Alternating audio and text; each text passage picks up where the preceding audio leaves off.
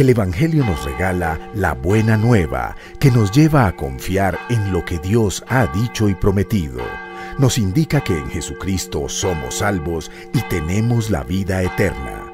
El Centro de Comunicaciones de la Diócesis de Armenia les anuncia y predica el Evangelio de hoy. Lectura del libro del Cantar de los Cantares.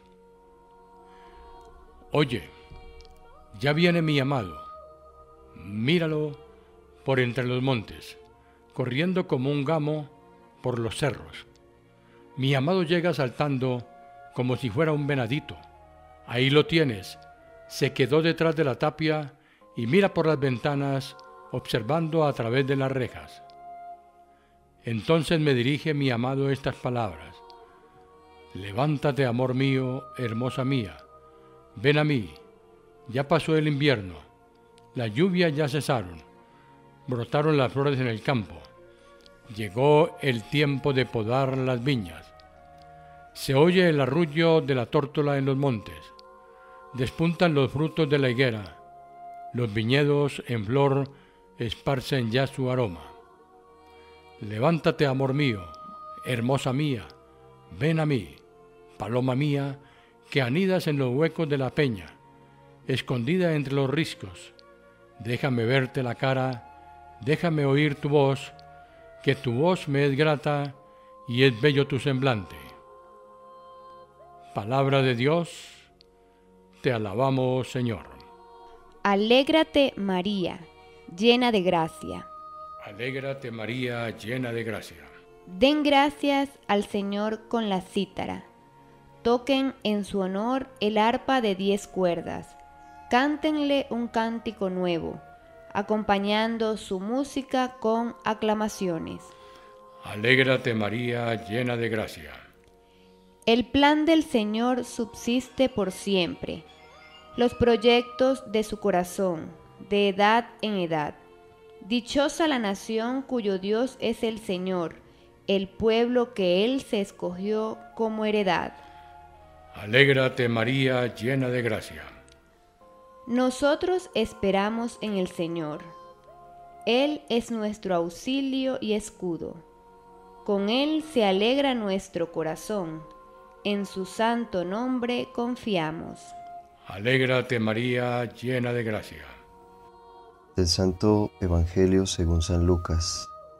En aquellos días se puso en camino María y se dirigió con prontitud a la región montañosa, a una población de Judá entró en casa de Zacarías y saludó a Isabel. En cuanto oyó Isabel el saludo de María, saltó de gozo el niño en su seno. Isabel quedó llena de Espíritu Santo y exclamó a gritos, Bendita tú entre las mujeres y bendito el fruto de tu seno, como así viene a visitarme la madre de mi Señor, porque apenas llegó a mis oídos la voz de tu saludo, saltó de gozo el niño en mi seno. Feliz la que ha creído que se cumplirían las cosas que le fueron dichas de parte del Señor. Palabra del Señor. Gloria a ti, Señor Jesús. Estamos llegando ya al momento culmen de nuestro tiempo de Adviento. En la cuarta semana nos acercamos a celebrar la Natividad del Señor. Y en este pasaje maravilloso que el Señor nos regala hoy martes del Evangelio de San Lucas, de la visitación de la Virgen María su prima Santa Isabel. María, aquella que escuchó la palabra de Dios y se dispuso a cumplirla en su corazón y en su vida. María va a visitar a su prima Isabel para confirmar lo que le ha dicho el ángel Gabriel de su embarazo a pesar de que ella era estéril. Y hoy el Señor nos presenta a María, esa discípula, esa primer creyente en el Señor, en su palabra, la primer miembro de la iglesia. Llega y pronuncia el saludo a Isabel. Hoy pidámosle al Señor que nos ayude a llenarnos de Él como María, que Jesús se encarne en nuestro corazón para que podamos llevarlo a otros aquellos que no le conocen. Que sea por gracia del Espíritu Santo y la presencia de Jesús en nuestro corazón, que podamos hacer las obras de Dios y no las obras del mundo, que podamos vivir según el Espíritu de Dios y no el Espíritu del mundo, que podamos ser discípulos que van con prontitud a aquellos más necesitados, que estamos dispuestos a entregar nuestra vida en servicio de los más pobres y necesitados, de los enfermos, de los que sufren, que podamos dar razón de nuestra fe, que podamos ser coherentes con nuestro estilo de vida.